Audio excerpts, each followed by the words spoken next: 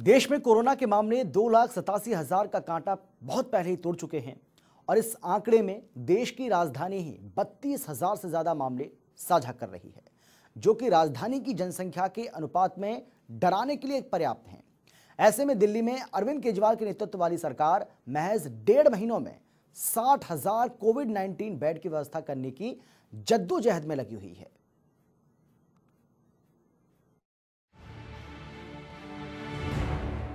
महामारी की मार, राजधानी बेहाल। सियासती बयार, सुविधाओं की खींचतान।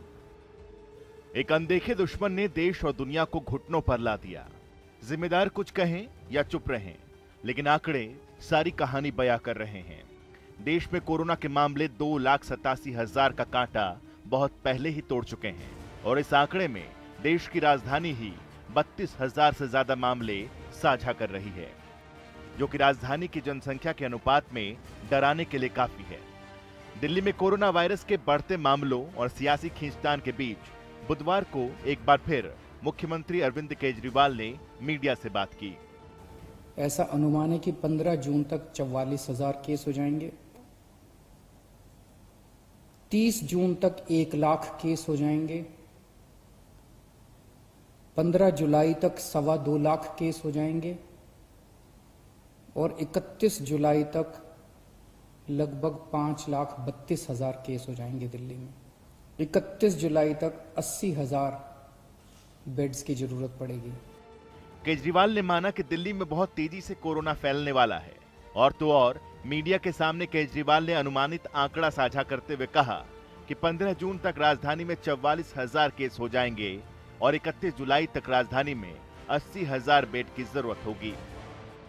31 जुलाई तक होंगे साढ़े पाँच लाख कोरोना मरीज़। 31 जुलाई तक अस्सी हज़ार बेड की होगी ज़रूरत। दिल्ली में अभी केवल बीस हज़ार बेड। सियासी शक्ति को लेकर राजधानी और केंद्र में रार किसी से छुपी नहीं है, लेकिन कोरोना काल में पिछले दिनों से चल रही सियासी खींचतान से सूबे की जनता हलकान है, ये भी जग ज़ाहिर है। भारतीय जनता पार्टी ने एलजी के ऊपर दबाव डाल के जबरन उनसे ये आदेश पारित कराया है कि दिल्ली सरकार के केंद्र कैबिनेट के तहत जो फैसला लिया गया, उसको नहीं माना जाएगा, बल्कि दिल्ली के लोगों को दिल्ली के अस्पतालों में इलाज करने में प्रायोरिटी नहीं दी जाएगी, उनको नहीं रखा जाएगा, बल्कि कहीं से भी कोई आके आ सकता है। मैं भारतीय जनता पार्टी से ये पूछना चाहता हूँ कि आप देश में कोरोना के इलाज की राजनीति कर रहे हो, कोरोना के इलाज के काम के लिए काम कर रहे हो, या कोरोना के नाम पे राजनीति कर रहे हो, राज्य सरकारों की योजनाओं को फेल करने की राजनीति कर रहे हो? सियासत के बाद अब जरा मौजूदा हाल समझिए। राष्ट्रीय राजधानी में तेज़ी से बढ़ रहे कोरोना वायरस केस के साथ ही दिल्ली में अरविंद केजरीवाल के नेतृत्व वाली सरकार, महज डेढ़ महीनों में साठ हज़ार कोविड 19 बेड की व्यवस्था करने की जद्दोजहद में लगी हुई है। और 31 जुलाई को अस्सी हज़ार बेड अगर दिल्ली वालों के लिए चाहिए तो लगभग डेढ़ लाख टोटल बेड्स की ज़रूरत पड़ेगी। बहुत ज़्यादा बड़ी चुनौती है। आसान काम नहीं है। लेकिन इतना मैं कह सकता हूँ कि हम पूरी कोशिश करेंगे, तन, मन, धन, जो बन सकेगा, ये हमारी ज़िम्मेदारी भी है और ये सेवा का काम है। मैं खुद निकलूँगा, कल से परसों से।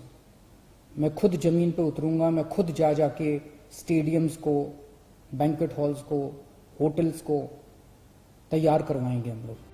हालाँकि दिल्ली सरकार के लिए अतिरिक्त बेड की व्यवस्था करना एकमात्र चुनौती नहीं है।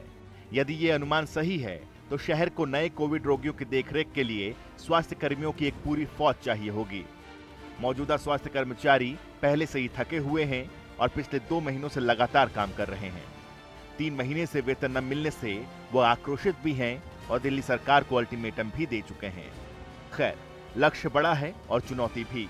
लेकिन सवाल सिर्फ़ इतना है कि जहान तो बचा लोगे, लेकिन जान कैसे बचाओगे? Bureau report, Janta TV.